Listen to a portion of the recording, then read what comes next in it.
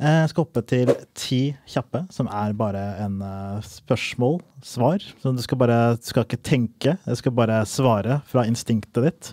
Dyr eller plante? Plante. Eh, kaffe eller te? Kaffe. Eh, brus eller brus? Brus. Leilighet eller hus?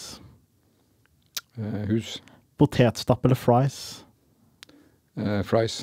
Eh, kul caps eller kule sko? Cool caps. Dyr sjampis eller dyr vin? Dyr vin. Uh, hyttetur eller bytte ur? Hyttetur. Eh, fly eller tog? Tog. Rose eller jegershot? Jegershot. Ja, jeg gjør så fy faen. Det er eh, da Du har fått min stemme allerede. Men eh, Jeg var da- god på de, da. Jeg, jeg, de pleier å, det pleier alltid å være de som ikke det er mulig å svare den ene eller andre på. Som sier at her må jeg komme med tredje alternativ. Nei, det er ikke lov. Men det med ur eller hyttetur var kult. Ja, det syns jeg. Ja, Ja. ja, det rimte liksom ja. Men jeg hadde heller bytt, fått nytt klokke enn Eller bytte ur, da. Eller sånn, ja.